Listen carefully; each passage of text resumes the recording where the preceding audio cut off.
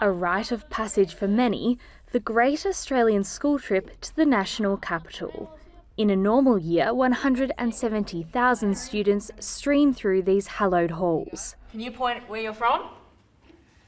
Oh, way up there. Now all is quiet, and the cost of that is huge. We estimate by the end of June we will have lost maybe up to 60,000 kids who won't have come on that school visit. Normally a $130 million industry, it's been about two months since the last paying customer. Specialty accommodation providers have plenty of beds to fill.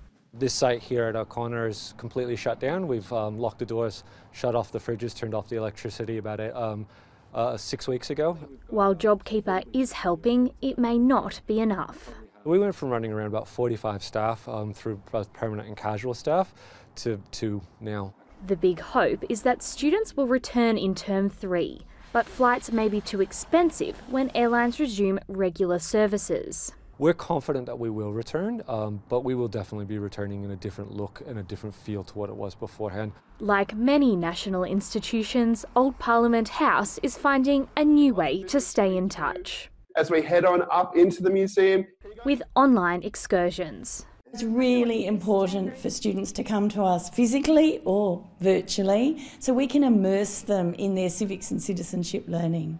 But there's nothing quite like walking the halls of history yourself, and there's no doubt there will be smiles all round when the students return. It feels like the guests aren't coming to your home anymore. There's a real sense of loss. It's that chance to spend time with your friends. It's the, you know, late night gossips, the group meals, all of those things which, you know, we all remember as kids. It's still very much alive. Waiting for another chance to make memories that will last a lifetime. Holly Tregenza, ABC News, Canberra.